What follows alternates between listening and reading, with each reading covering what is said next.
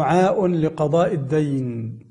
في صحيح مسلم عن أبي هريرة رضي الله عنه قال كان رسول الله صلى الله عليه وسلم يأمرنا إذا أخذنا مضجعا أن نقول اللهم رب السماوات ورب الأرض ورب العرش العظيم ربنا ورب كل شيء فالق الحب والنوى.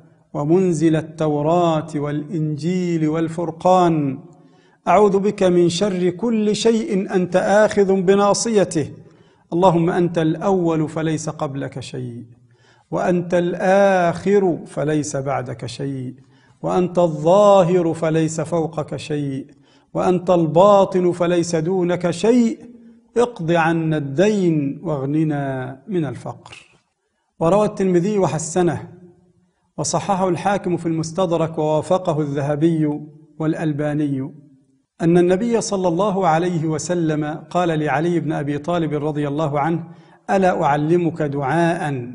لو كان عليك جبل من دين أداه الله عنك؟ قلت بلى يا رسول الله. قال قل اللهم اكفني بحلالك عن حرامك واغنني بفضلك عمن سواك. كرر هذا الدعاء كثيرا أيها المدين وسوف يغنيك الله من فضله وتسدد ما عليك من الدين.